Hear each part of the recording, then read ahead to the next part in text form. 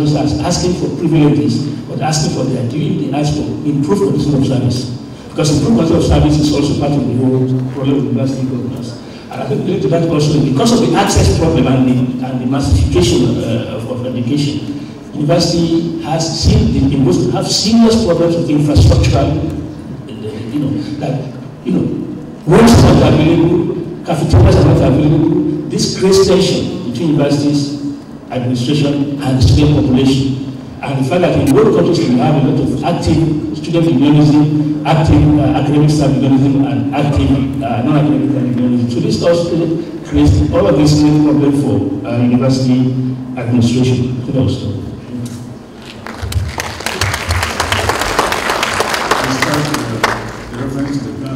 Competitions, I didn't finish on time, so I don't Teresa, can you present that? Thank you very much. I have been told that I can speak in Portuguese because you have interpretation. So if you allow me, thank you very much.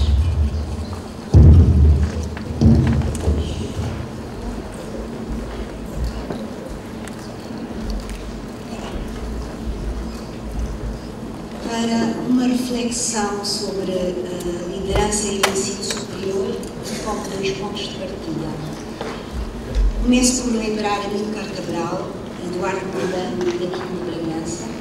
e depois parte do meu conhecimento sobre as instituições públicas de Moçambique e concentro-me em alguns entry points que eu vou mencionar. Primeiro ponto, eh, a tese de Cabral sobre a libertação como um ato cultural e a necessidade de conhecimento da realidade constituiu e constitui ainda uma base para a procura de caminhos para essa mesma libertação, onde a educação e a ciência ocupam um lugar privilegiado no desenvolvimento dos povos. A tónica posta nos seus escritos sobre a crise da Revolução Africana assenta em práticas deslocadas da realidade concreta do meio, foi também compartilhada por Eduardo Mundano de Moçambique, para quem era igualmente importante que as análises de uma determinada condição se pudessem inserir dentro de uma situação concreta. Mais tarde, e numa realidade completamente diferente, onde o foco da luta se situava no âmbito dos desafios de um país independente mas pressionado pelo ambiente regional e global, Aquino de Bragança toma a questão da necessidade de dar uma atenção especial às realidades eh, nacionais e refere ainda que a ciência e o conhecimento devem aparecer refletidos nas políticas públicas. Como Cabral, Mondlane ou Bragança, em 2005, poderia ser Cuba, que faz parte deste, desta mesa redonda, uma das suas análises sobre o ensino superior em África,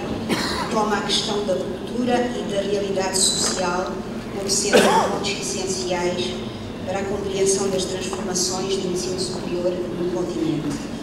Os entry points que eu vou utilizar eh, partindo da realidade de Moçambique, alguns dos quais já foram referidos, é a questão dos recursos, o impacto dos modelos de liderança universitária, e as práticas e os desafios que se colocam. Finalmente, o poder político a interferência do Estado, quer na liderança das universidades, quer no comportamento que é assumido pelo corpo de professores e pesquisadores. Começando pela questão dos recursos, a redução de fundos institucionais para a pesquisa e a dependência crescente de financiamentos externos moldaram a pesquisa e o ensino em situações tais como algumas que eu vou aqui referir, uma produção científica formatada e frequentemente gerenciada por interesses e agendas externas,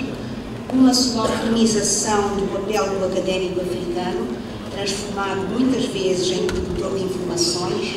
e reprodutor de um conhecimento que, não menos vezes ainda, está situado fora das realidades africanas um distanciamento cada vez maior entre a pesquisa e o ensino. Uh, partindo agora de alguns exemplos de Moçambique, em 2004, como já tinha sido ilustrado por uh, Aki Sveyer, também deste, desta mesa redonda, para o resto do continente, a situação que se vive em Moçambique é idêntica, onde com a redução dos fundos institucionais para a pesquisa, a tendência é que os fundos são provenientes dos doadores ou outros financiadores, sem o envolvimento direto das universidades,